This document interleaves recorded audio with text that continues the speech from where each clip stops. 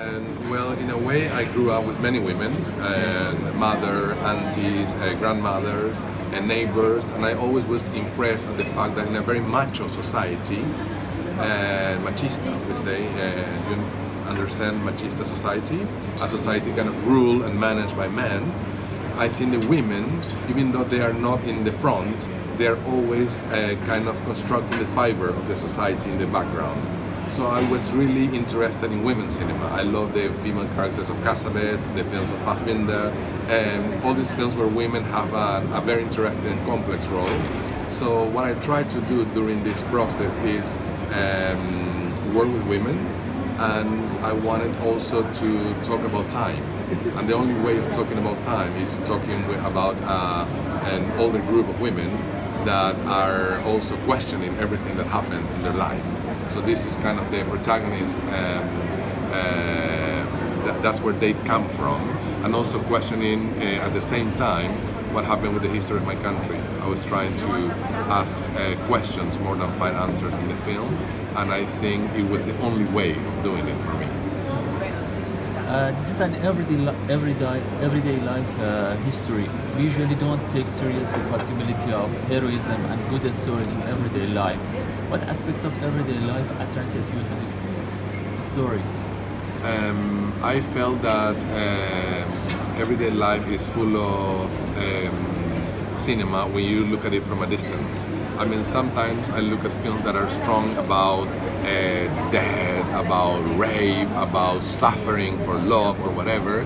But I think we suffer every day, and we love every day, and we feel a lot of things in the in the everyday life that are uh, overlooked many times because um, we we naturalize them. And I wanted to talk about this. Um, uh, the life of these women that um, when you look at them from a distance, it, it, it makes you realize that it probably shouldn't be that naturalized, that you can uh, rethink many ways as seeing your own life uh, with a small distance.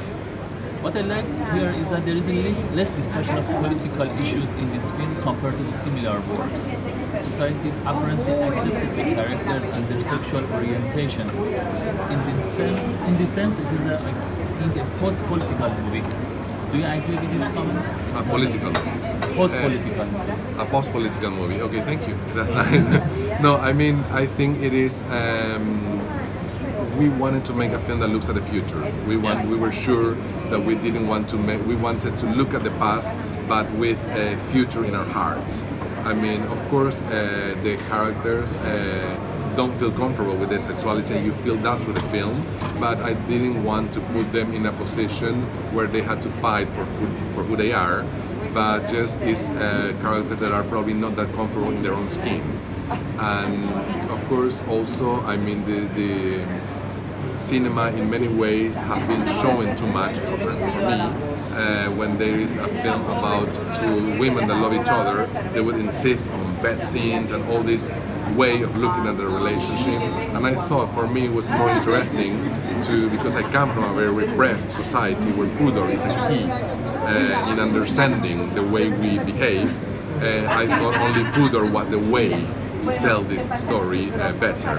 So of course I, I like the definition of post-political mainly because I agree with you. Many times political is used as marketing, but many times exotism, exotic film, you know, show your trees, show your rivers, and we will love it. And that's a big problem with fans, with festivals, with producers, with critics many times. And I think uh, the the idea behind all the team of this film was let's show what we want to show and we let's make the film we believe in and try to finance it. And that was a huge challenge and I think uh, being in Berlin with the film is uh, great for us just mainly because we did that. Can, can you tell more about the bourgeois families uh, both women descended from? Uh, what was the source of inspiration for the bourgeois life? Uh, well, Paraguay has like a 5% of elite that lives and looks, I don't want to say look down, but of course they feel superior to the rest of the country. And I think in many ways I wanted to put these women in a moment where economically they're losing that position, but they still have to fake it. So you see that they belong to a family where they inherited a lot of uh, furniture, a house, a car, but they also inherited prejudice, they inherited constraints. So in a way, I think the heritage refers to all this inheritance. Uh, on the on, uh, on the one hand, a society that wants to reproduce itself, wants to keep being an, an elite, but at the same time losing this privilege, makes these women question where they are, you know, where they are now. They, one of them goes to prison and have to interact with inmates, which is something that uh, they would never do. They would never interact with that much with another social class unless one of them goes to prison. And also the touch, you know, in the film, the, as soon as Chiquita goes to prison, uh, they start uh, the guards touching, the inmates touching, the maid touching, so they start being touched. And I thought that was also a way of uh, portraying what is happening in that moment when you still belong in your fantasy to this social class, but then the rest is surrounding you and is touching you. The relationship uh, between emancipation and car ownership. The woman felt relief after having access to the car. Um, yeah, I think that, uh, that that was in a, in a way uh, the car allow us to to give her uh, a tool that she also, in a very obvious comparison, started driving her own life. So in a way, that was uh, the car was almost like a character that gave her, in many ways, uh, freedom, in many ways, the possibility of uh, moving forward, and also the, the, the, possibility of taking with her, uh, of having a job, and also um, starting to make decisions uh, by herself. And of course, her partner said, you shouldn't be driving, you don't have a license. And of course, uh, the car is the first thing they sell when Chiquita comes back from the, or they are about to sell when Chiquita comes back from the prison. And how, what do you think of uh, the ending of the film? Do you think, is it open or closed ending? Uh, I think it's an open ending in many ways because uh, we know these characters who, in a, in a way, uh, is released, but we give her the opportunity of doing what she wants. I wanted the film, and many points during the script process, I wanted the film to finish with her in prison because I felt my country is still uh, trapped. But then uh, it was hard for me to also, through the process of discovery and working with the characters, uh, discovered that it was also the possibility of open doors, open windows, escaping. So this was something I learned through the process of the film, and I feel it gives the film uh, some breath at the end. Uh, you picked a fascinating set of female cast for the film, mostly non-actors. How did you pick them? How was the rehearsal? Um, I picked the main uh, characters, Chiquita and Chela, about one year before starting shooting the film. So we had opportunity to rehearse, and I needed a, a lot of rehearsal, more than they did, because I needed to know if the film was working, the dialogues were working, and I wanted to incorporate them.